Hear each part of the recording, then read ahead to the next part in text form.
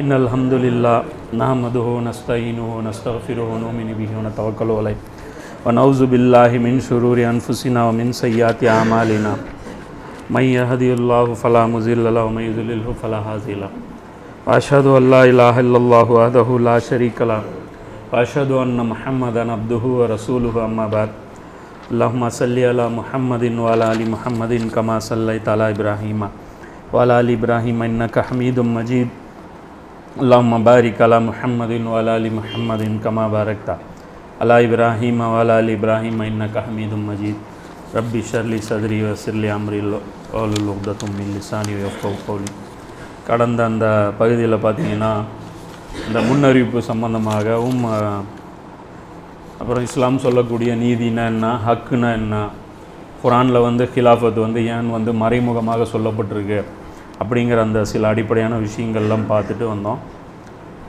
இப்போது இதில் வந்து முஸ்லீம்கள் வந்து முக்கியமாக எப்படி வந்து தவற விட்டுட்டாங்க அப்படிங்கிற அந்த விஷயமும் வந்து சொல்லியிருந்தோம். இப்போ இன்னும் அடுத்த மீதி இருக்கக்கூடிய விஷயங்கள் எல்லாமே இதில் வந்து இன்ஷால்லாம் கவர் பண்ணுவோம்.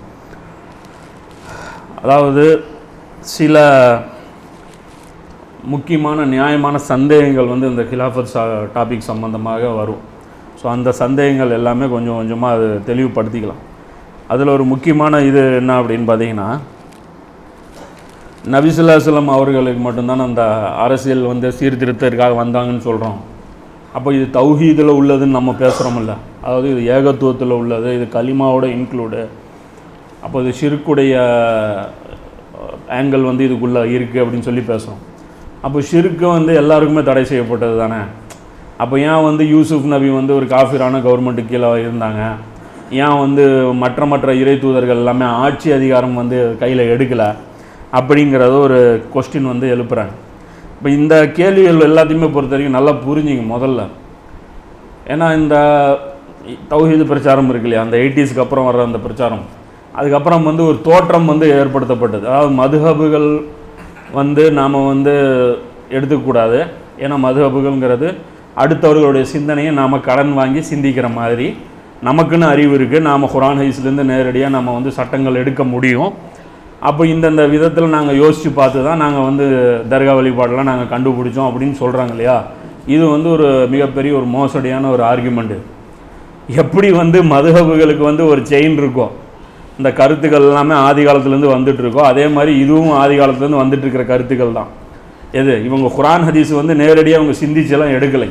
நீங்கள் பாகிஸ்தானில் இருக்கக்கூடிய ஒரு தௌஹீத்வாதி பேசக்கூடிய ஸ்பீச் பாருங்கள் இங்கே அந்த எந்தெந்த வசனங்களுக்கு என்னென்ன பாயிண்ட்டுன்னு காட்டுறாங்களே அந்த பேசிக்கான ஆன்சர் இருக்கும் இல்லைங்க. இந்த கபர் வந்து ஹைட் பண்ணக்கூடாது. அது வந்து இந்த சிறுக்குடைய இது இதுன்ட்டு. அந்த பே அடிப்படையான வாதங்கள். அப்புறம் விரல ஆட்டி தான் ஆகணும். இந்த ஆசிம்பின் குலைபுடைய ஹதீஸு இது. அப்புறம் இந்த விஷயங்கள் எல்லாமே பார்த்தீங்கன்னா அதுவும் ஒரு சிலபஸ் தான். இப்போ அதைத்தான் அவங்க ஃபாலோ பண்ணிருக்காங்க. அப்போ ஆரம்பத்தில் எனக்கு சந்தேகம் வரும். என்னடா இது? பாகிஸ்தானில் இருக்க. நம்மால் தௌஹீத்வாதிகள் இங்கே கண்டுபிடிச்சாங்க அப்படின்னா இவங்க எஃபர்ட் போட்டாங்க. குரான் ஹதீஸ் நேரடியாக ஆய்வு பண்ணாங்க. அதிலிருந்து இவங்க இந்த விஷயங்கள் எடுத்து சொல்கிறாங்க நம்ம பேசுகிற அதே விஷயம் யூடியூப்பில் உருதுலையும் பேசுகிறானே அப்படின்னு பார்த்தான். அவனும் அதே தான் பேசுகிறான் பங்களாதேஷ்லேயும் அதே தான் பேசுகிறான் சவுதிலையும் அவன் அதே தான் பேசுகிறான் என்னடா சமாச்சாரம்னு பார்த்தா அது ஒரு சிலபஸ்ஸு சலஃபிசம் அப்படிங்கிறது அது ஒரு சிலபஸ்ஸு அந்த சிலபஸில் ஒரு முக்கியமான சிலபஸ் எதுன்னு பார்த்தீங்கன்னா மன்னராட்சியை வந்து சப்போர்ட் பண்ணி பேசுகிற ஒரு சிலபஸ் இப்போ அந்த சிலபஸில் என்ன இருக்குன்னா சில அடிப்படையான கேள்விகள் இருக்கும். யூசுப் நபி வந்து ஏன் காஃபிர் கவர்மெண்ட்டில் ஆட்சி செய்தார்கள்? கிலாஃபத்துக்காகத்தான் இந்த இது படைக்கப்பட்டனா ஏன் தெளிவாக சொல்லப்படலை? அப்போ நபிசுல்லாஸ்லாம் அவர்களுக்கு ஒரு ஆட்சி ஆஃபர் கொடுக்கப்பட்டுச்சுல்ல மக்காவில். அந்த ஆஃபர் ஏன் நிராகரித்தாங்க அப்போ இது மாதிரியான கேள்விகள் எல்லாமே ஒரு பேக்கேஜ் இருக்குது அது ஒரு ஒரு பத்து பாஞ்சு கேள்வி தான் அது. அந்த பேக்கேஜை வச்சு என்ன பண்ணுவாங்கன்னா இந்த இஸ்லாம் கூட சொல்லக்கூடிய அரசியல் பொலிட்டிக்கல் இஸ்லாம் இருக்கு இல்லையா? அதை மறுத்து பேசுவாங்க. நபிமார்கள் வந்து அரசியலுக்காக வரவே இல்லை அப்படின்ட்டு. அப்போ நல்லா புரிஞ்சுங்க இவங்க யாருமே குரான் ஹதீஸை நேரடியாக சில இது பண்ணுறவங்க கிடையாது. இவங்க எல்லாரும் பாருங்கள் ஒரே மாதிரி தான் இருப்பாங்க. நீங்கள் வந்து இப்போ இவர் பேசுகிறார் முஜாஹித் இப்னு ரசீன் பேசுகிறாருன்னு வச்சுங்க அவரும் அதே மாதிரி தான் பேசுவார். அப்புறம் உருதுல ஒரு ஆள் இருக்கார் தௌசிஃபுர் ரஹ்மான்ட்டு பாகிஸ்தானில் அவரும் அதே தான் பேசுவார். அவர் பாகிஸ்தான் உடைய சலஃபுடைய தாய் அவரும் அதே தான் பேசுவார். இதே வந்து ஐஆர்சி சேனல்னு நினைக்கிறேன். ஐஆர்சி சேனல்னு சொல்லிட்டு இங்கே உத்தரப்பிரதேசத்தில் இருக்கும். அவங்களும் வந்து அரபியிலேருந்து அதே தான் பேசுவாங்க. இவங்க பேர் என்ன வச்சுக்கோன்னா நாங்கள் தனித்தனியாக இண்டிபெண்ட்டாக யோசிக்கக்கூடியவர்கள்னு சொல்கிறாங்களே தவிர இவங்க யாருமே இண்டிபெண்ட்டாக சுயமாக குரான் அதிசிலிருந்து எடுத்த தௌஹீது கிடையாது.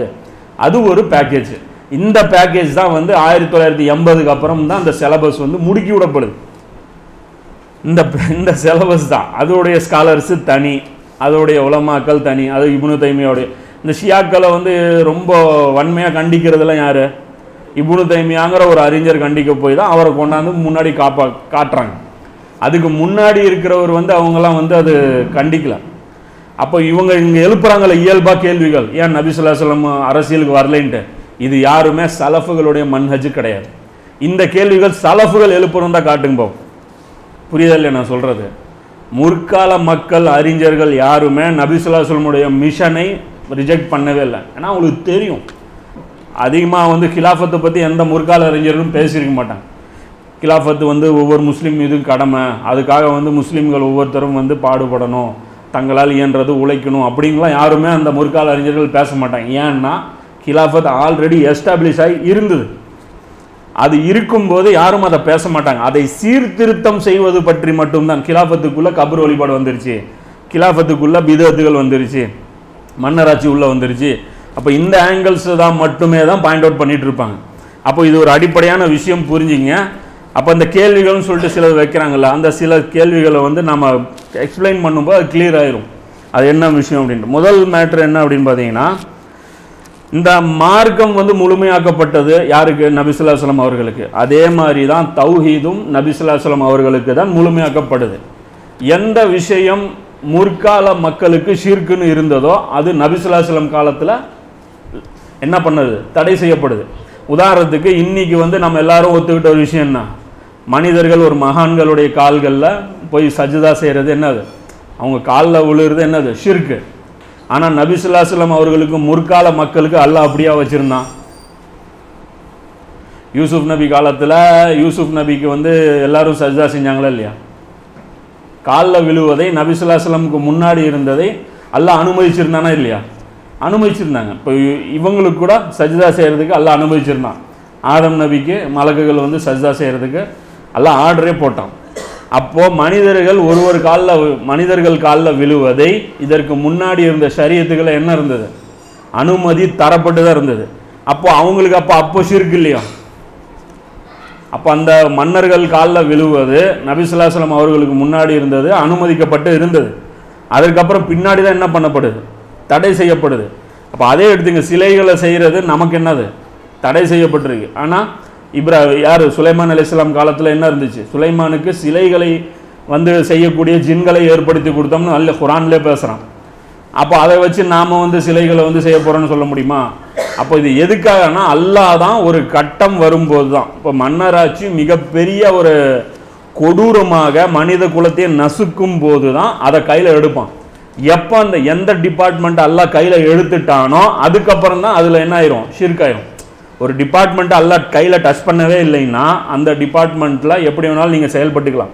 ஆனால் அந்த டிபார்ட்மெண்ட் எல்லாம் கையில் எடுத்துட்டான் அப்படின்னா அதுக்கப்புறம் அந்த டிபார்ட்மெண்ட்டில் நீங்கள் உள்ளே பூந்தீங்கன்னா அதுக்கு பேர் என்ன? ஷிர்க்குன்னு வந்துடும் ஸோ இது ஒரு முக்கியமான வித்தியாசம். அதனால் பார்த்தீங்கன்னா ஆதம் நபி தொடங்கி இப்ராஹிம் நபி வரைக்கும் மன்னராட்சிகளை பற்றி எதிர்த்தோ அதில் வந்து ஷிர்கோ எதுவுமே வந்து குரானில் ஹதீஸில் நீங்கள் பார்க்க முடியாது. இப்ராஹிம் நபி கூட அவங்களுடைய அந்த இதுலேருந்து தான் அவங்க போய் எக்ஸ்பிளைன் பண்ணுறாங்களே தவிர மன்னராட்சி எதிர்த்து இப்ராஹிம் நபி வேலை செய்யலாம் கிலாஃபத்துக்காக செஞ்சுருந்தாங்க அவங்களுக்கு அந்த பணி கொடுக்கப்படல. அப்போ தான் அவர் இமாமா ப்ரொமோட் பண்ணப்படுறாரு. அதுக்கப்புறம் ஊர்களே அவர் தான் உருவாக்குற பணி கொடுக்கப்படுது. அரபுங்கிற அந்த அந்த நாடே இப்ராஹிம் நபி கொண்டு போய் விட்டு அந்த ஒரு குழந்தையின் மூலமாக தான் உருவாகுது. அப்போ அந்த அதுக்கப்புறம் தான் பாலஸ்தீனும் அவர் தான் உருவாக்குறாரு. அப்போ அந்த வேலை எல்லாமே அவர் தான் செய்கிறாரு அப்போ இது வந்து ஒரு முதல் விஷயமா புரிஞ்சுக்கணும். அப்போ ஆதம் நபியிலேருந்து இப்ராஹிம் நபி வரைக்கும் மன்னர்களுக்கு ஒரு பிரச்சனையே மன்னராட்சி வந்து இஸ்லாத்தில் ஒரு பிரச்சனையே கிடையாது. ஏன்னா மனித குலம் வளர்ச்சி அடையல. அந்த அளவுக்கு மன்னர்கள் பவர்ஃபுல்லாக ஆகலை அதுக்கப்புறம் இப்ராஹிம் நபியிலிருந்து அந்த காட்சி மாறுது. அல்ல என்ன பண்ணுறான் யூசுப் நபியை வந்து பனி ஜெருசலத்திலிருந்து கொண்டு போய் இதில் விடுறான். இங்கே எகிப்தில் கொண்டு போய் வர்றான் எகிப்தில் தான் நாகரிகம் வந்து பெரிய லெவலில் வளருது. அப்போ அவர்கள் ஒரு மன்னராட்சி வந்து மிகப்பெரிய லெவலில் அவங்க அப்போ தான் ரெடி பண்ணிட்டு இருக்கிறாங்க. அப்போ அந்த ரெடி பண்ணும்போதே கொண்டு போய் இவரை கொண்டு போய் அங்கே விட்டுட்டான். அப்போ யூசுஃப் நபி அங்கே போய் என்ன பண்ணுறாரு அரசியல் ஸ்டடி பண்ணுறாரு ஏன்னா ஒரு கிலாஃபத் எல்லாம் கையில் கொடுக்கணும்னா அதுக்கு முன்னாடி நாலேஜ் வேணும்ல. அந்த அந்த ஃபீல்டுடைய அனுபவம் வேணும்ல. அந்த துறை சார்ந்த அனுபவம் வேணுங்கிறதுக்காக யூசுப் நபி கொண்டு போய் அங்கே விட்டார். அதே பாருங்க அந்த குரான்லேருந்து அந்த சம்பவத்துலேருந்து புரிஞ்சிடும் யூசுப் நபி அங்கே போனாரா? தொலைஞ்சு போன பையன் தானே. பையன் கிடச்சா பையன் அப்பாட்ட போகணுமா? அப்பாவுக்கு கொண்டாந்து இங்கே வைக்கணுமா? காணாமல் போன யூசுப் நபி கிடச்சிட்டார்ல. கிடைச்சதுக்கப்புறம் அவன் சொந்த ஊருக்கு தானே போகணும். சொந்த ஊருக்கு போகாமல் அப்பா அம்மா எல்லாரையும் கூப்பிட்டு வந்து இங்கே ஏன் குடியமர்த்துறான். அந்த ஏன் பெரிய ஒரு பனி இஸ்ராயல்களை எல்லாம் பரக பல்கி பெருக செஞ்சான். யாக்கூப்புடைய சந்ததிகள் தானே இவங்க? பனி இஸ்ராயல்கள்ங்கிறது. ஏன் அங்கே செய்ய வச்சான்னா அது எல்லாம் கொண்டாந்து இன்ட்ரடக்ஷன் பண்ணுறான் மனிதன் நடமாட்டம் இல்லாத பகுதியிலிருந்து மனிதர்கள் அதிகமாக வாழ்கிற பகுதிக்கு வாங்க. எப்படியெல்லாம் பிரச்சனைகள் பூமியில் வருதுன்னு பாருங்க. பாலிடிக்ஸ் கற்றுக்குங்க அப்படின்னு சொல்லி கொண்டாந்து அவங்களை இங்கே இறக்கி விட்றோம். அதில் அவங்க நசுக்கப்பட்டு அடிமையாக்கப்பட்டு இந்த வழி என்னன்னு அவங்களுக்கு தெரியுமில்ல இவங்க அடக்குமுறை செய்ய மாட்டாங்களே. கஷ்டப்பட்டு ஒருத்தன் வந்தவன் அந்த திமிர் அவன் பண்ண மாட்டான்ல. ஃபிரௌன்ட்ட அடி வாங்கினவன். அந்த மாதிரி பக்குவப்பட்டிருக்காங்க. அவங்க சபுர் செஞ்சாங்கன்னு சொல்லி அல்லாஹ் அவங்களுக்கிட்ட கொண்டு போய் என்னுடைய தீனை அதாவது இந்த பொலிட்டிக்கல் சிஸ்டமை உலகத்திற்கு நடைமுறைப்படுத்துவதற்கு நீங்கள் சரியான ஆட்கள்னு சொல்லி எல்லாம் கொண்டு வந்து அதுக்கப்புறம் கொடுக்குறான். அதுக்கப்புறம் தான் அந்த படிப்படியாக அந்த விஷயங்கள் வந்து நடக்குது. அப்போ அந்த நேரத்தில் கூட இவங்க என்ன பண்ணுறாங்க அந்த ஃபிரௌன்ட் இருந்தெல்லாம் போய் மூசா நபி போய் கூப்பிட்டு காப்பாற்றிட்டு போய் போகிறாங்க அப்போ அந்த நேரத்தில் வந்து மன்னராட்சி வந்து கடவுள் தன்மைக்கு அடைஞ்சிருச்சு. எந்த நேரத்தில்? ஃபிரௌனுடைய காலகட்டத்தில் மன்னராட்சி தன்னுடைய கொடுங்கோன்மைக்கு போயிருச்சு. அப்போ ஒரு அநியாயம் உச்சத்தில் வரும்போது தான் அல்லாஹ் அதை தடுப்பான். சிலை வழிபாடு ஆதம் நபிக்கு கொஞ்ச நாளத்துலேயே வந்துருச்சு.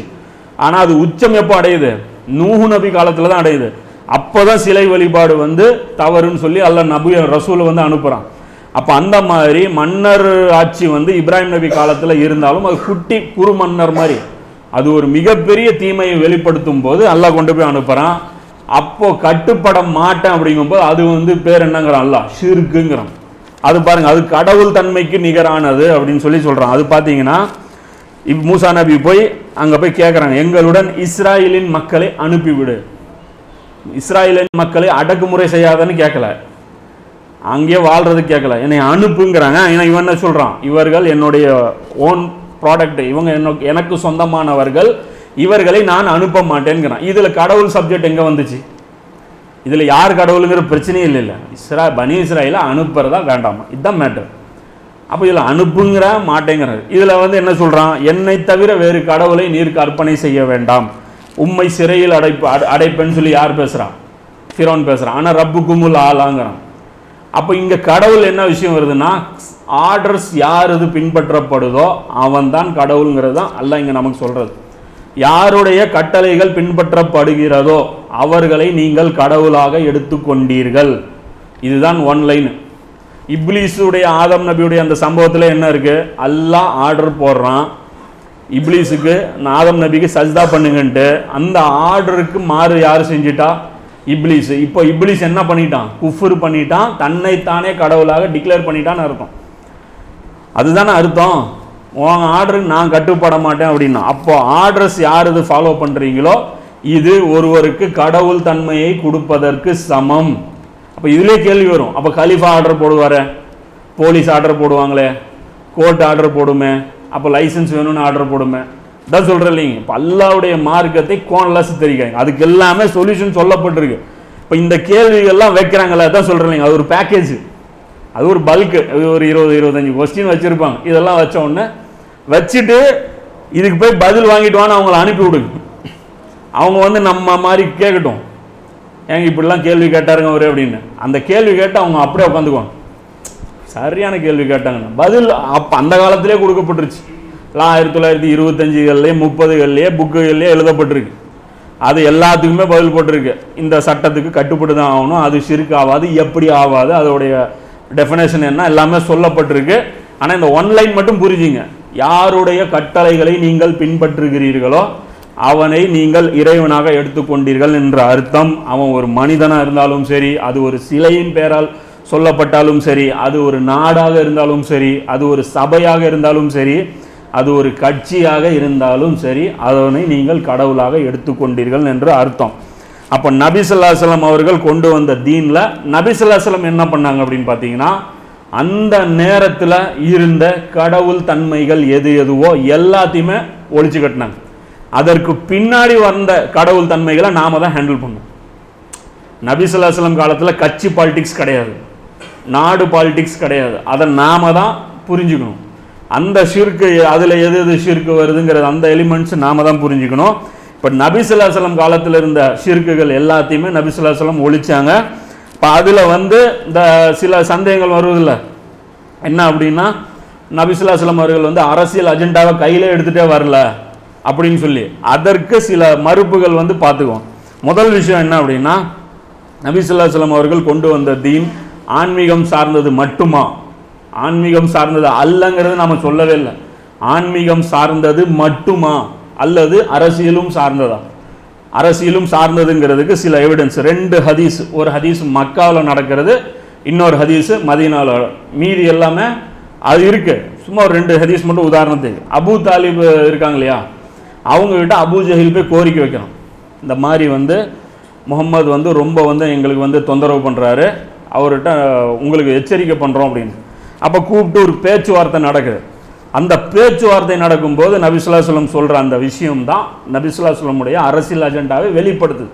அது நம்ம கர்பலால் நிறைய விஷயங்கள் நம்ம பட்டியல் போட்டிருப்போம். அது ஃபுல் சீரிஸ் பார்த்தவங்களுக்கு நல்லா தெரியும். தெல்ல தெளிவாக எல்லாருக்குமே புரியும். சில விஷயங்கள் அதாவது இது ஒரு ஒரு கிலாஃபா சம்மந்தப்பட்ட டாபிக்கும்போது சில அடிப்படையான விஷயங்கள் நம்ம அப்படியே காமிச்சிட்டு போயிடலாம். என்ன அப்படின்னா ரசூலா போய் சொல்கிறாங்க யார்கிட்ட? அபு தாலிப்கிட்ட. அபுஜெயில் வந்து கம்ப்ளைண்ட் பண்ணிட்டு போயிட்டான். அப்போ ரசூலாவை கூப்பிட்டு இவர் என்கொயரி பண்ணுறாங்க அப்போ ரசூலாகிட்ட வந்து இவங்க சொல்கிறாங்க ரசூலா சொல்கிறாங்க அபு தாலிப்கிட்ட என் பெரிய தந்தையே நான் சொல்கிற ஒரே ஒரு கலிமாவை இவர்கள் சொல்லட்டும். ஒட்டுமொத்த அரபுலகமும் இவர்களின் ஆணைகளுக்கு அடிபணிந்து நிற்கும். அரபு அல்லாதவர்களும் இவர்களுக்கு கப்பம் செலுத்த தொடங்கி விடுவார்கள். இது வந்து என்ன சொல்கிறாங்க ரசூல்லா வந்து சொல்கிறாங்க இது வந்து அகமதுல திருமிதியில் நசையில் இப்னு அபி ஷைபாங்கிற இத்தனை கிதாபுகளில் இருக்குது நம்பர் நோட் பண்ண மட்டும் இது ரஹீக்கில் கூட போட்டிருக்காங்க. இந்த செய்தி சரியான செய்தி. அப்போ ஒரு களிமா சொல்லுங்கள் மற்ற ஊர்கள் வாசிகள் என்ன பண்ணுவாங்க? கப்பம் கட்டுவாங்க. இப்போ அரசியலில் கப்பம் கட்டுறது இருக்குதா? பள்ளிவாசலில் கப்பம் கட்டுறது ஆன்மீகத்தில் எங்கேயாவது கப்பம் இருக்கா?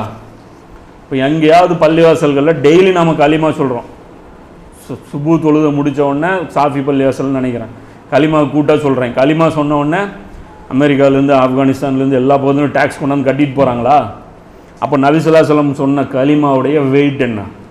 அதுக்குள்ளே என்ன இருந்திருக்கு? சிந்திக்கணும். நாம தான் ஆழமாக சிந்திச்சு அதுலேருந்து கருத்து எடுத்துக்கணும். இது ஒரு முக்கியமான ஆதாரம். இது வந்து மக்கால் இருந்தது. அடுத்தது மதீனாவில். நஜ்ரான் பாதிரிமார்கள் இருந்தாங்களா நபிசுல்லாஸ்லம் தாவா செஞ்சாங்க எல்லாருக்கும் தெரியும்.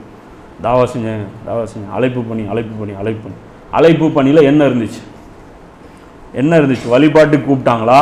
இல்லை அது மறுபடியும் மட்டுமே நிறுத்தினாங்களா? அப்போ நபிசுல்லாஸ்லாம் என்ன தாவா செஞ்சாங்கன்னா இந்த நஜரான் பாதிரிமார்கள் இது மக்கா வெற்றிக்கு அப்புறம் நடக்கிறது.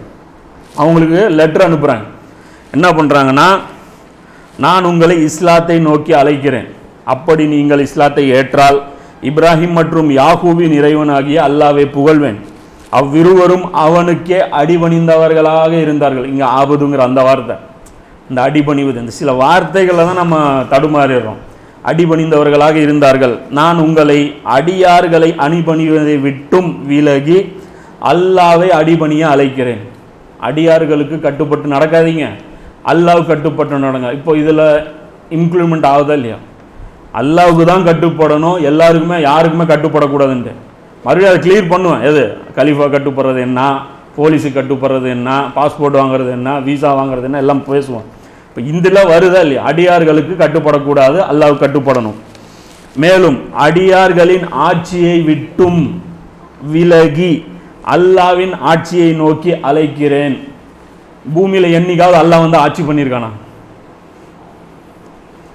அப்போ எந்த ஆட்சியை பற்றி இவங்க பேசுகிறாங்க மனிதர்களுடைய ஆட்சியை விட்டு விலகி அல்லாவுடைய ஆட்சியை நோக்கி அழைக்கிறேன். இப்போ தாவாவில் என்னென்ன இருக்குது நாம் ஃபர்ஸ்ட் ஸ்டெப் மட்டும்தான் கூப்பிட்றோம். ரெண்டாவது ஸ்டெப் அடிபணிறது கூப்பிட்றோமா? ஆட்சிக்கு கூப்பிட்றோமா? கூப்பிடவே இல்லை. ஆனால் நம்ம என்ன சொல்கிறோம் நபிசுல்லாசனுடைய உம்மத்துங்கிறோம். அவர் அப்போ வந்து நடக்குதுங்க. அப்போ அழைக்கிறேன் என்றாங்க. அப்படி அவ்வாறு நீங்கள் மறுத்தால் எல்லாம் கட்டுப்பட மறுத்தால் ஆட்சியை ஏற்றுக்கொள்ள மறுத்தால் ஜிஸியாக செலுத்துங்கள். அப்போ ஆட்சி உங்கள் மேலே அப்ளை ஆட்டோமேட்டிக்காக ஆயிரும். நீங்கள் அந்த ஆட்சி கீழே அதுதான் வருதில்ல? அதாவது இஸ்லாம் முழு உலகமும் பரவும் ஏற்றுக்கிட்டாலும் பரவும் ஏற்றுக்கலைனாலும் ஒவ்வொரு வீட்டுக்குள்ளே இஸ்லாம் எப்படி போகும்னா ஒன்று ஜக்காத்து கொடுத்து இஸ்லாம் நிறைவேற்றுவீங்க அல்லது ஜிசியா கொடுத்து நீங்கள் நிறைவேற்ற போகிறீங்க இது நடக்குங்கிறதா இங்கே விதி அதுவும் மறுத்தால் போருக்கு அழைக்கிறேன் அப்படின்னு சொல்லி வருது இந்த ஹதீஸ் தலாயிலும் நுபுவால். ஏழாவது அஞ்சாவது அத்தியாயத்து அஞ்சாவது வால்யூமில் எழுநூற்றி முப்பத்தி ஏழாவது ஹதீஸாக இருக்குது அப்போ இது ரெண்டுலேருந்து புரியுதா இல்லையா? நபிசுல்லா சொல்லமுடைய மிஷனில் பாலிட்டிக்ஸ் இருந்தது கிலாஃபத் இருந்தது கவர்மெண்ட்டை நோக்கி தான் கூப்பிட்டாங்க. தொண்ணூத்தஞ்சு பர்சன்ட் பிரச்சனை அரசியலுக்கு தான் வந்துச்சு. ஆன்மீகத்துக்கு அவங்களுக்கு இவ்வளோ பிரச்சனை வரணும்னு அவசியமே கிடையாது.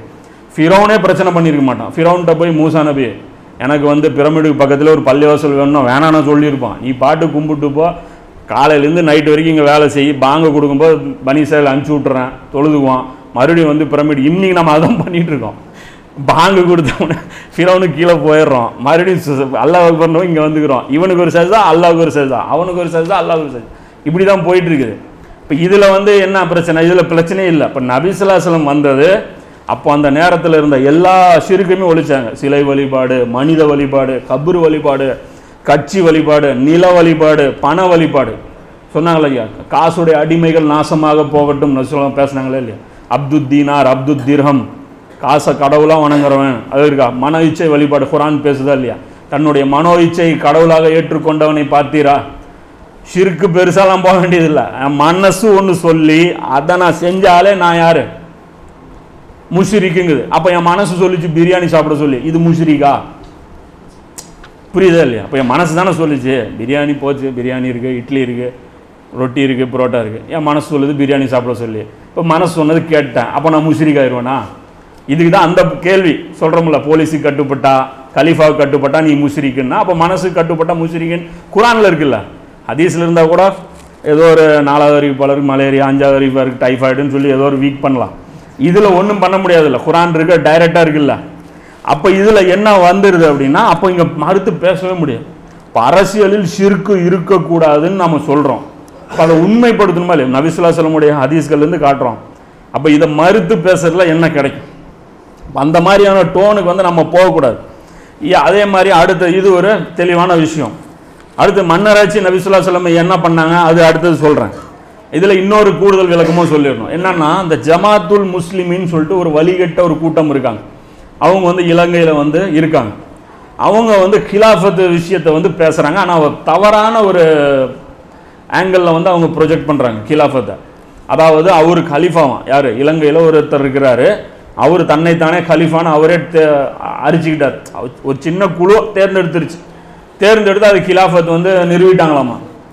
அப்போ அந்த கிலாஃபத்துக்கு கீழே எல்லாரும் பையத் செய்யணும். பையத் செய்யாதவங்களாம் யார்? காஃபிரு. அப்படின்னு சொல்லி வரம்பு மீறிய சில செயல்களை செய்கிறாங்க அதை கொண்டு வந்து என்ன பண்ணுறதுன்னா இந்த ஜமாத் இஸ்லாமி இந்த மாதிரியான அந்த அமைப்புகள் வந்து இவங்க அந்த கிலாஃபத் சப்ஜெக்ட் பேசுகிறாங்க இல்லையா? இப்போ நாம பேசுகிறோம் அந்த மாதிரி பேசுகிறோம் நம்மளை கொண்டு போய் என்ன பண்ணுறாங்க எல்லாரும் ஒன்று இப்போ நீயும் கிலாஃபத்துங்கிற அவனும் கிலாஃபத்துங்கிறான் எல்லாரும் ஒன்று தானே அப்படிங்கிறது. நாம் அவங்களோட தொடர்பு இல்லைங்க சொல்கிறோம் நம்ம அவங்க சொல்கிற வாதங்கள்லாம் நம்ம அதில் உடன்பாடு இல்லைங்கிறோம். உடன்பாடு இருந்தால் உடன்பாடு இருக்குன்னு சொல்லிட்டு போகிறோம் நம்ம என்ன போய் சொல்கிறோம் நம்ம தான் ஊர் பூரா திட்டு வாங்குறது தான் நம்மளோட டியூட்டியை இல்லையா? இந்த அவர் திட்டு சேர்த்து வாங்கிட்டு போகிறது ஆல்ரெடி பைத்தியக்காரன் முட்டாள் அது இதுன்னு தான் சொல்லுவாங்க. வளரக்கூடியவன்ட்டு. அது சேர்த்து வாங்கிட்டு போகிறது நமக்கு என்ன நமக்கு எந்த கிரீடம் இருக்குது கழட்டி வைக்கிறதுக்கு. அது ஒன்றும் பெரிய பிரச்சனை கிடையாது. இருக்குன்னா இருக்குன்னு ஓப்பனாக சொல்லிட்டு போவோம்.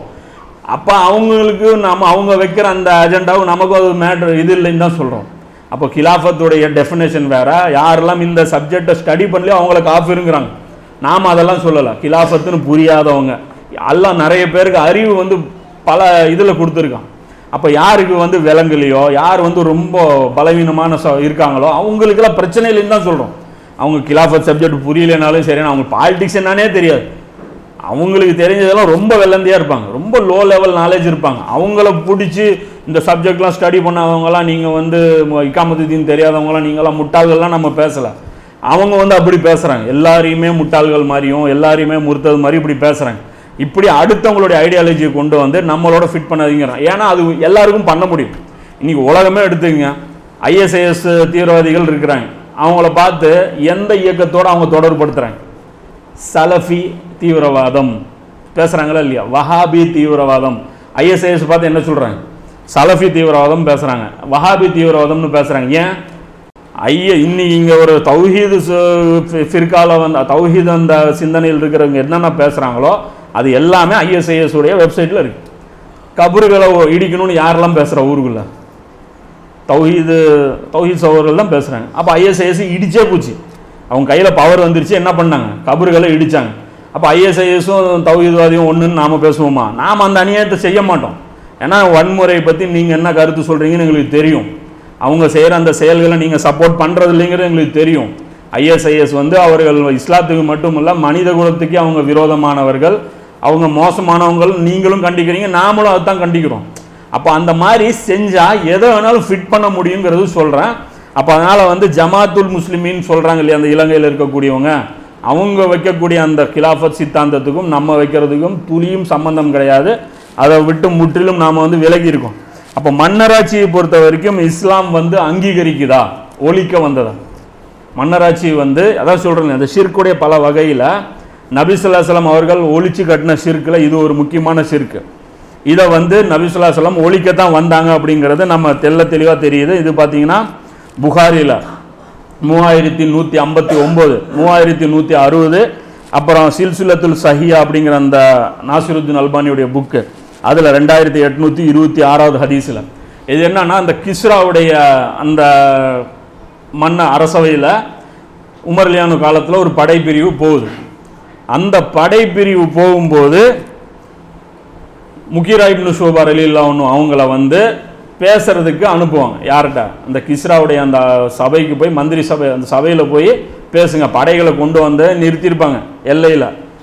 அங்கே போய் மன்னருக்கு தாவா செய்கிறதுக்கு யாரை அனுப்புவாங்க? முக்கீரா இப்னு ஷோபார் அலில்லா ஒன்று அவங்கள அனுப்புவாங்க. அவங்க போய் பேசுவாங்க. அவங்க போகும்போது அந்த மன்னர் கூப்பிட்டு கேட்பான். என்னப்பா நீங்கள் வந்திருக்கீங்க? நீங்கள் வழிப்பறி கொள்ளையாளர்கள் தான் இவங்க. முக்கீரா இப்னு ஷோபா வந்து வழிப்பறி திருடர். இஸ்லாத்துக்கு முன்னாடி. இந்த ஹுதேபியா உடன்படிக்கையில் கூட செய்யும்போது வரும்ல நீ திருடிட்டு ஓனவன் தானே? அப்படின்னு சொல்லி ரசூல்லா கேட்பாங்க. அந்த அந்த மக்காவாசிகள் கேட்பாங்க. அப்போ கூட ரசூல்லா முன்னாடியே சொல்லுவாங்க முக்கீரா நீ இஸ்லாத்துக்கு வந்த. உன் பழைய பாவங்கள் மன்னிக்கப்படும். ஆனால் நீ திருடியது தவிர அப்படிம்பாங்க. நீ திருடினது எனக்கு தெரியாதுமா அப்போ முக்கீரா இப்னு ஷோபாரில் போய் நிற்பாங்க அப்போ சொல்லுவாங்க என்னப்பா திருட வருவீங்க வந்துட்டு சத்தம் இல்லாமல் ஓடிடுவீங்க இப்போ என்ன பெரிய கூட்டமாக கூட்டம் வந்து இங்கே வந்திருக்கீங்கம்பாங்க அப்போ முக்கீரா சோபாரலியம் சொல்லுவாங்க இது வரைக்கும் நாங்களாக வந்தோம் இப்போ நாங்களாக வரல எங்களை அல்லா அனுப்பி எங்களை ஒரு வேலையாக அனுப்பவும் இருக்காங்க அப்படின்னு. அப்போ அனுப்பியிருக்காங்க வேலைன்னு வருது. அது சொல்கிறாங்க நாங்கள் அரபு மக்கள் பசியின் காரணத்தால் நாங்கள் தோலையும் கொட்டையும் சாப்பிட்டு கொண்டிருந்தோம். எங்களிடம் ஒரு தூதர் வந்தார் அவர்தான் எங் உங்களிடம் போரிட வேண்டும் என்று எங்களுக்கு கட்டளையிட்டார். இவங்க வந்து படையெடுத்துட்டு வரல. இஸ்ரா படையெடுத்துட்டு மதினாவுக்கு வரல.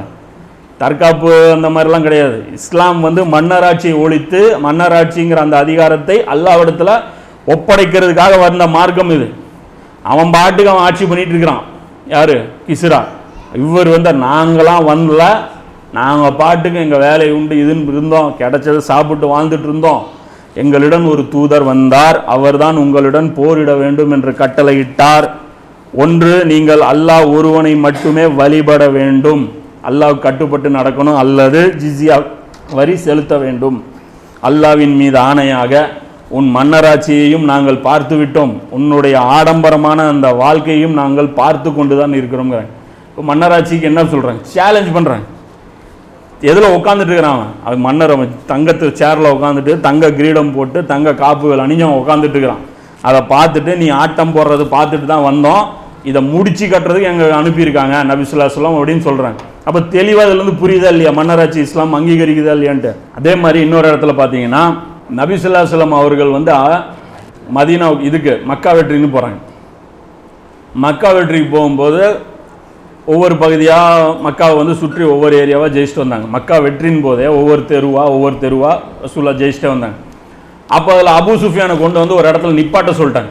பாரு என்னுடைய படைகள் வர்றதை பாருங்கிறேன். ஒவ்வொரு படையாக வருது. அந்த படையை பார்க்க பார்க்க பார்க்க அபு சுஃபியான் வந்து என்ன பண்ணுறாரு இவங்களுக்கும் இவங்க- இவங்க எதுக்கு வர்றாங்க? இவங்களுக்கு எங்களுக்கு பஞ்சாயத்தே கிடையாது? இவங்களுக்கு எங்களுக்கு பஞ்சாயத்தே கிடையாதுங்கிறேன். ஒவ்வொன்றா சொல்லிட்டு வரும்போது ஆமாம் அப்படி தான் ஆமாம் அப்படி தாங்கும்போது அவர் சொல்கிறார் அப்பாஸே உமது சகோதரர் மகனின் ஆட்சி இன்று கொடி கட்டி பறக்குது அப்படிங்கிற அவன் ஆட்சி எங்கேயோ போயிருச்சுப்பா அவங்க ஆட்சி வேறு லெவலில் போயிட்டீங்க அப்படின்னு. அப்போ அபு சுஃபியான் ரலியல்லாஹு சொல்கிறாங்க இவர் சொல்கிறாரு அப்பாஸ் அலியானோ அபு சுஃபியானே இது நபித்துவமாகும் இது மன்னராட்சி அல்ல. இது சாதாரண ஆட்சி கிடையாது. இது வந்து மற்ற ஆட்சி மாதிரி கிடையாது. இது நபித்துவத்துடைய ஆட்சி என்று கூறினார்கள். ஆம் சரிதான் என்று அபு சுஃபியான் கூறினார். இது வந்து ரஹீக்கில் நானூற்றி தொண்ணூற்றி ஒன்றாவது பக்கத்தில் இந்த செய்தி பதிவு செய்யப்பட்டிருக்கு. இது புகாரியில் துர்க்குன்னா கிடைக்குது நாலாயிரத்தி இரநூத்தி எண்பது. இந்த மீதி செய்தி பார்த்தீங்கன்னா இந்த இம்னு ஹிஷாமுங்கிற அந்த வரலாற்று நூல்களில் தான் கிடைக்கும். இவங்க ஆரம்பத்திலேருந்து என்ன நினச்சிட்டு இருந்தாங்க? அபு சுஃபியான் இவங்கெல்லாம். நபிசுல்லாசலம் அவர்களை மன்னர்னு நினச்சிட்டு இருந்தாங்க. அதனால தான் பார்த்தீங்கன்னா அந்த ஹெர்கல்கிட்ட கூட போய் சொல்லுவார். ரசூல்லாவை பார்த்து ஒரு மன்னர் அரபுகளுடைய மன்னர் அப்படின்னு சொல்லுவாங்க. அபு சுஃபியானு வந்து ஆமாம் அப்படிம்பார்.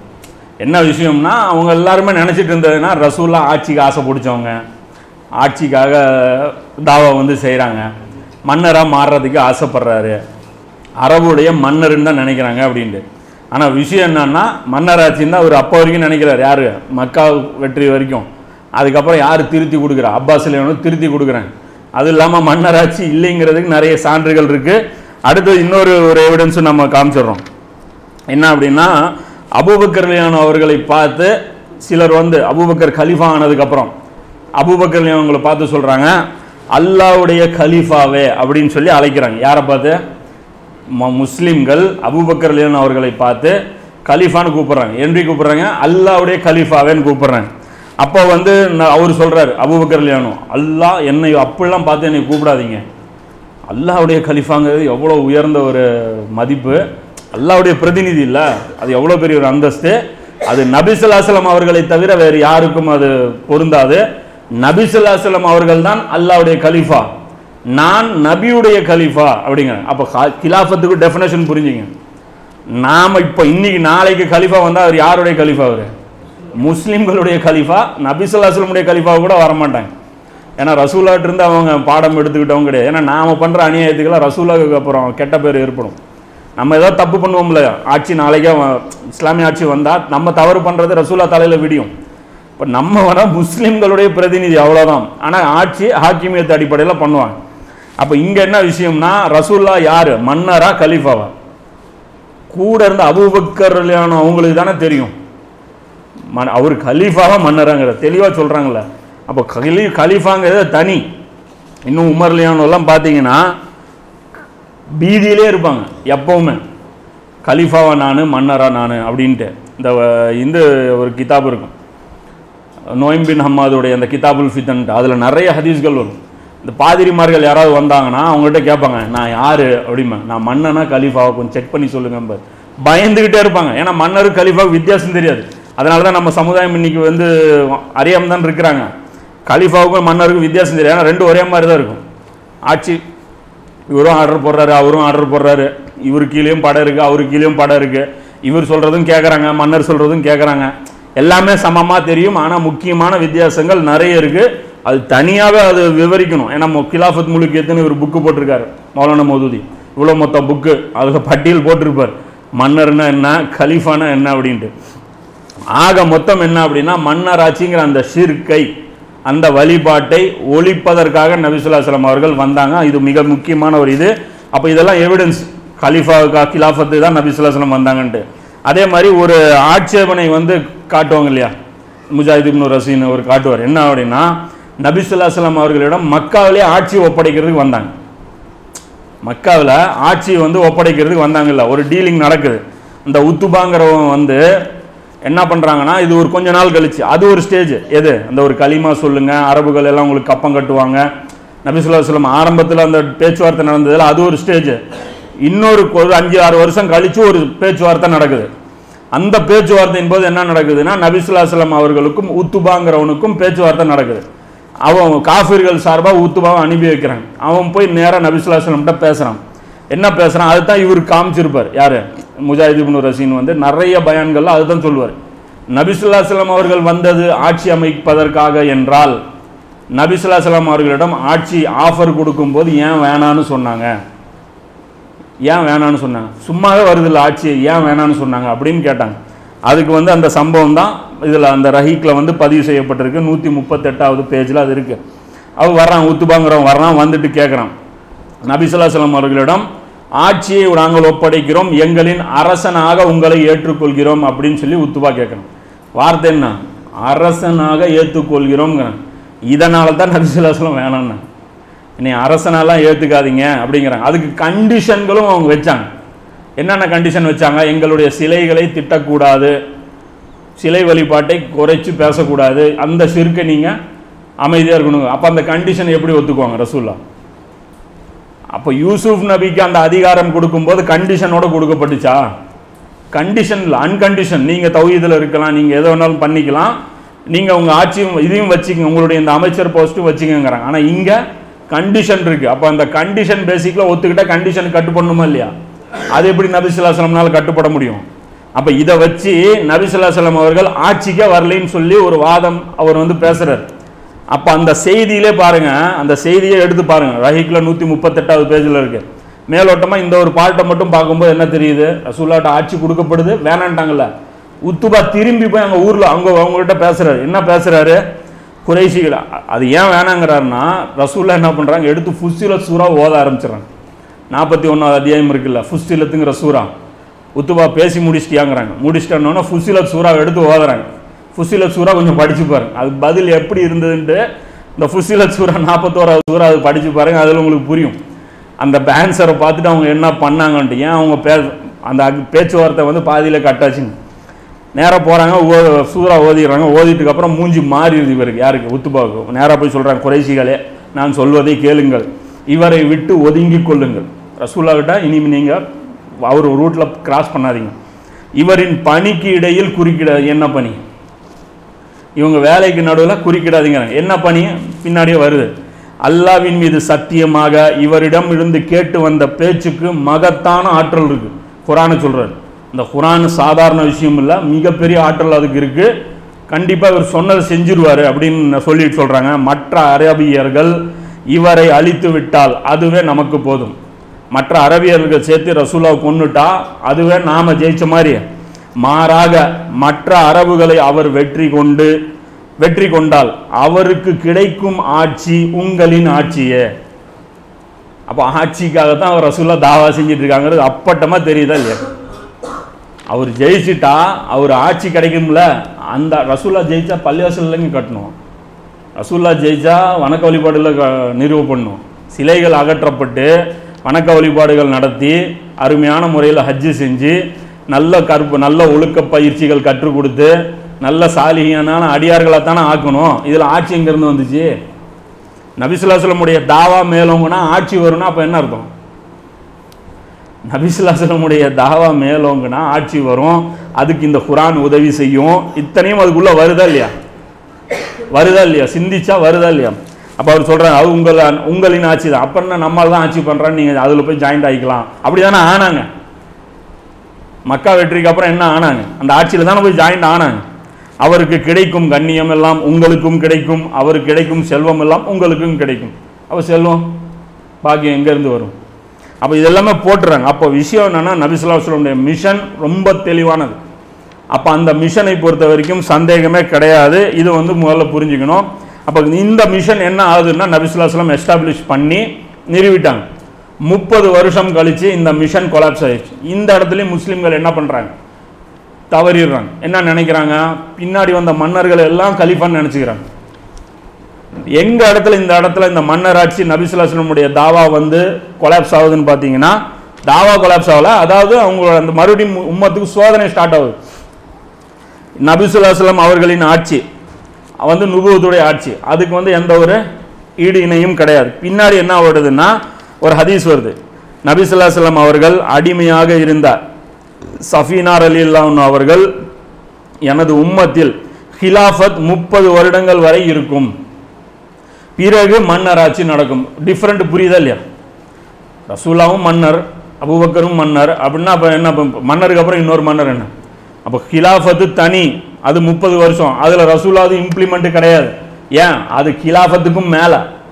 கிலாஃபத்துன்னா மனுஷன் ஆட்சி பண்ணுறது மனுஷன் அல்லாவுடைய வேதத்தை வச்சு ஆட்சி பண்ணுறது மன ரசூல்லாவுடைய ஆட்சின்னா அல்லாவே ஆட்சி பண்ணுறது வகி வருங்க.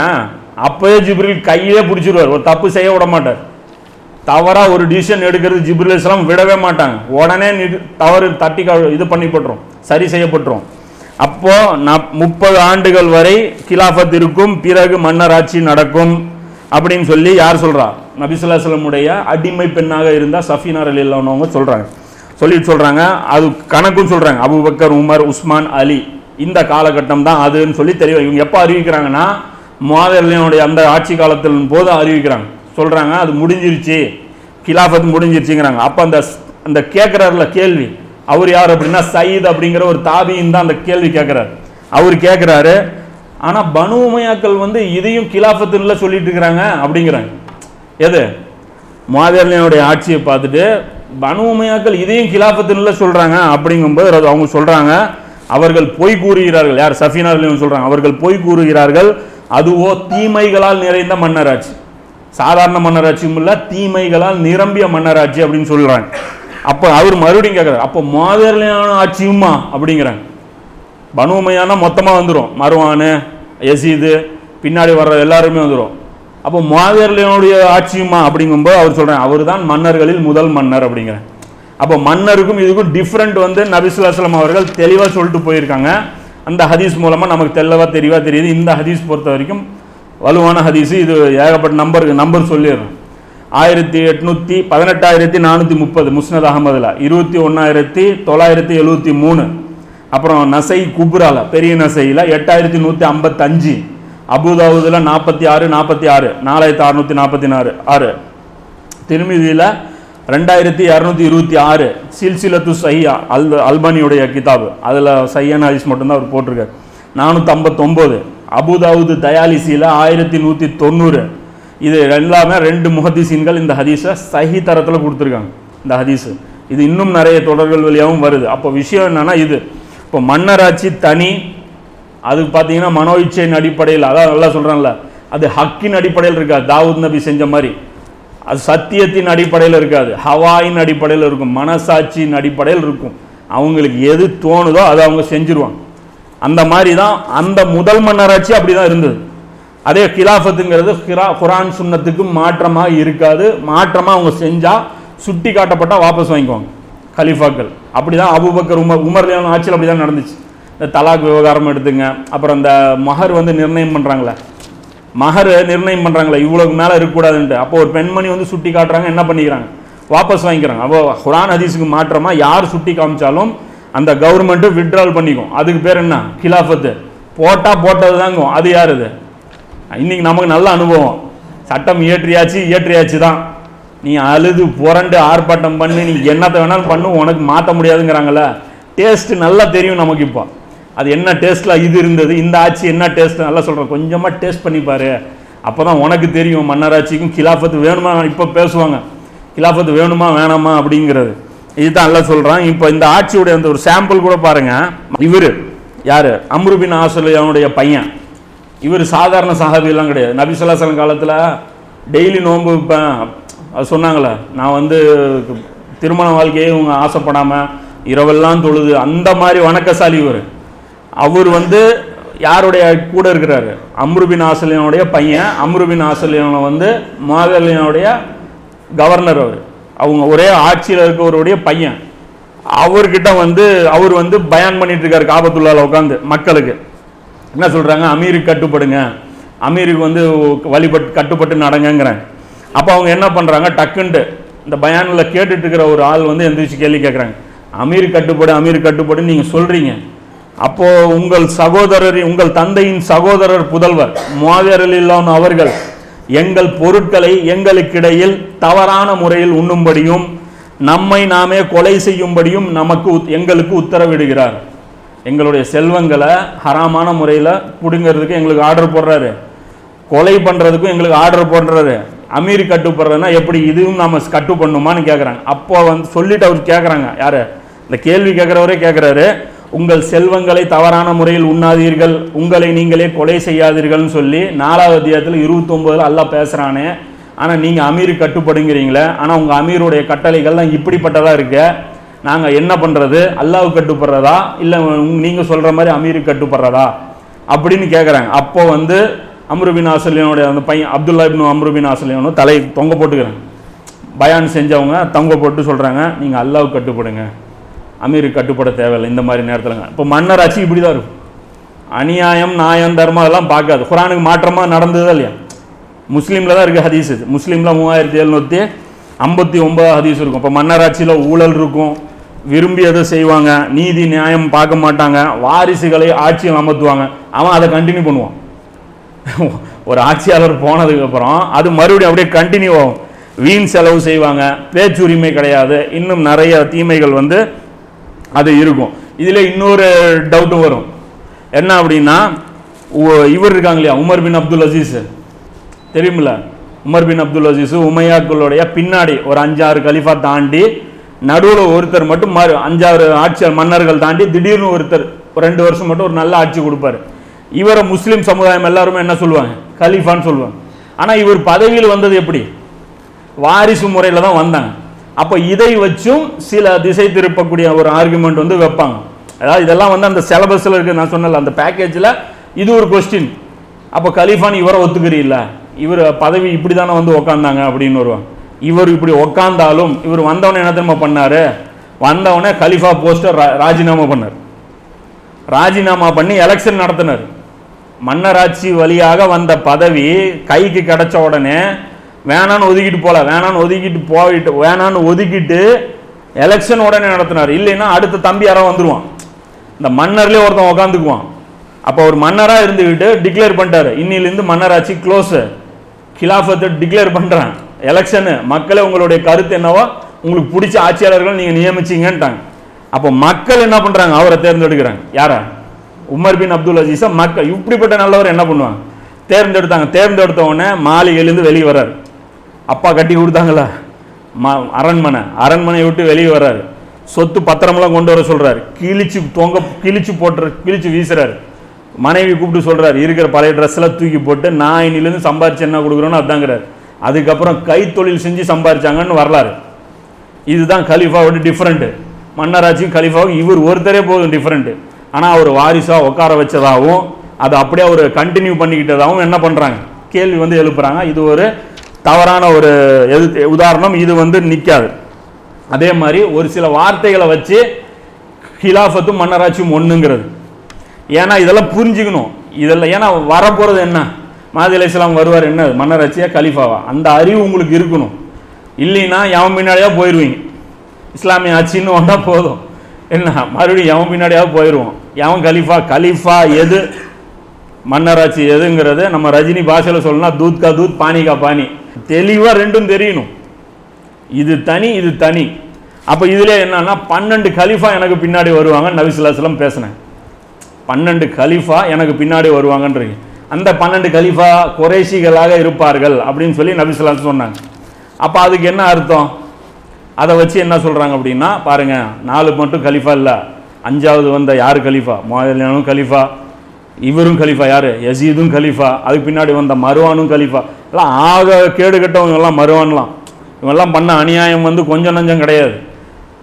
இவனும் கலீஃபா அவருக்கு பின்னாடி வந்தவனும் கலீஃபா அவரும் கலீஃபாவும் போகுது. ஆனால் பன்னெண்டு கலீஃபான்னு வரும். அப்போ கலீஃபான் ரசூலாக ஒப்புதல் கொடுத்துட்டாங்க இல்லைங்க. ஒரு வார்த்தையை வச்சு விளாடக்கூடாது எப்பயுமே இது அல்லாஹ் வைக்கிற சோதனை. ஒரு வார்த்தையை வச்சு அதாவது இங்கே இந்த ஹதீஸில் கருத்து என்ன அப்படின்னா பன்னெண்டு பேரும் குறைஷிகளாக இருப்பாங்கங்கிறது தான் மேட்ரு ஏன்னா குறைஷிகளாக நபிசுல்லாஸ்லாம் இருப்பாங்கங்கிறது தான் அங்கே மெயினாக எடுக்க வேண்டிய படிப்பினையை தவிர இது கிலாஃபத்துக்கும் மன்னராட்சிக்கும் அளவுகோல் பேசக்கூடிய அந்த ஹதீஸ் இது கிடையாது. அப்போனா இந்த மற்ற செய்திகள்லாம் என்ன பண்ணுவீங்க? முப்பது வருஷத்துக்கு அப்புறம் கலிஃபா வந்து இருக்கும் அது கிலாஃபத் இருக்காது மன்னராட்சி தான் இருக்கும். அப்போ இந்த ஹதீஸ்லாம் என்ன பண்ணுவீங்க? ஒரு வார்த்தையை வச்சு சட்ட சட்டம் எடுத்தோம்னா இஸ்லாத்துக்கு ஜனாதா எடுத்துட வேண்டியதுதான். அதே வந்து இந்த ஹதீஸும் எடுங்க. எது? இந்த கிஸ்ரா ரோமாபுரியுடைய இது சொல்லுவாங்க ரோமா கிஸ்ராவுடைய தங்க காப்புகள் உங்களுடைய கைகளில் நான் பார்க்கிறேன்னு சொல்லி சஹாபாக்களை சொன்னாங்க அப்போ தங்க காப்பு ஆண்கள் அணியலாமா? அப்போ போட்டாங்க அப்புறம். அப்போ ஒரு ஹதீஸ் வச்சு சட்டம் எடுக்கலாமா? ஒரு வார்த்தையை வச்சு விளாடலாமான்னா? இப்போ இதில் மேட்ரு என்ன? ஜெயிக்க போகிறாங்கன்னு ரசூலா சொன்னாங்க. அதுதானே? கிஸ்ராவுடைய காப்புகள் நீங்கள் ஜெயிக்க போகிறீங்க அப்போனா என்ன அர்த்தம்? காப்பு மட்டும் போய் அவங்ககிட்ட போய் பார்த்துட்டு தரேன்னு பிடிக்கிட்டு ஓடி வர்றது? அப்படி இல்லை. அந்த ஆற ஆட்சியே உங்கள் கையில் வரப்போகுதுன்னு அர்த்தம். அதை வாங்கி கையில் போட்டும் பார்க்குறாங்க யார்? அதை வாங்கி அதை ஜெயித்ததுக்கப்புறம் இவரை கூப்பிட்றாங்க. அந்த சுரகாங்கிறவரை பார்த்து தான் நபிசுல்லாஸ்லாம் அந்த முன்னறிவிப்பு செஞ்சாங்க. உங்கள் கையில் வந்து நான் கிஸ்ராவுடைய காப்புகளை பார்க்குறேன் அப்படிங்கிறாங்க. அப்போ உமர்லியானு கூப்பிட்றாங்க. கூப்பிட்டு இங்கே வா சுரகாவை கூப்பிடுங்கிறாங்க அவரை ஊர்லேருந்து கூப்பிட்டு வராங்க. என்னப்பா கூப்பிட்டீங்களாமா அப்படின்னு கூப்பிட்டாலும் சொல்கிறேன் கைகளை காட்டுன்னு கம்பை காட்டணும்னு. ஐயோ இது ஹராமாச்சே நான் போட மாட்டேங்கிறேன். அதை பார்த்துட்டு ஹராமு நான் போட மாட்டேங்கிறேன். அப்போ சொல்கிறேன் இல்லை ரசூலா சொல்லியிருக்காங்க. அதுக்காக ஒரு வாட்டி போடு அப்படிங்கிறேன் அப்போ இதை வச்சு ஹலால் ஹராமுன்னு ஃபத்வா கொடுமா? அப்படிதான் அது. பன்னெண்டு பேர் கலிஃபா வருவாங்கன்னா அப்போ தங்க காப்பும் போட்டுக்க வேண்டியதுதான். ஏன்னா ரசூலாவே சொன்னாங்க கிஸ்ராவுடைய தங்க காப்புகள் வந்து போட சொல்லி அப்படின்னு சொல்லி. இப்படி எல்லாம் நம்ம சௌரியத்துக்கு பண்ணலாம். ஆனால் மறுமை நாளில் இந்த ஆர்கியூமெண்ட்லாம் நிற்காது ஏன்னா ரசூலாவுடைய ஒட்டுமொத்த உழைப்பும் வந்து வீணாக போகும் அப்படிங்கிறத அது வந்து பார்த்துக்கணும். அதை இது ஒரு முக்கியமான ஒரு விஷயம். அப்போ இது எல்லாமே நாம் வந்து பார்த்து ஸ்டடி பண்ணிக்கணும். சொல்லு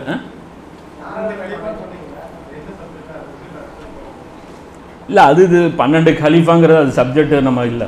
பன்னெண்டு கலிஃபானா என்ன சப்ஜெக்ட்னு கேட்குறீங்க பன்னெண்டு கலிஃபான் நபிசுல்லாசலம் ஏன் சொன்னாங்கன்னா அன்சாரிகளுக்கோசரம் சொன்னேன். ஏன்னா அன்சாரிகள் அவங்க இடத்துல உட்காந்து அன்சாரிகளுடைய இடத்துல உட்காந்து தான் நபிசுல்லாசலம் அவர்கள் ஆட்சியை வந்து செட் பண்ணாங்க. ஆமாம் இப்போ இவங்க விருந்தாளிகள் தானே? யார்? முஹாஜிர்கள் விருந்தாளிகள் தானே? நபிசுல்லாசலம் வந்தவங்க தானே? அப்போது நபிசுல்லாசலம் இருக்கிற வரைக்கும் இவங்க ஆட்சி பண்ண தேவையில்லை.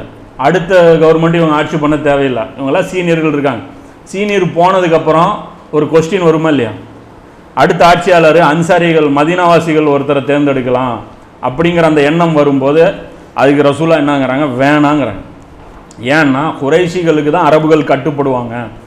ரசூலா சொல்கிறாங்க குறைஷிகளுக்கு தான் அரபுகள். அதெல்லாம் நிறைய ஹதீஸ் இருக்குது அது ஏன் அந்த பன்னெண்டு கலிஃபா ரசூலா சொன்னாங்க? அதெல்லாம் சும்மா கிடையாது.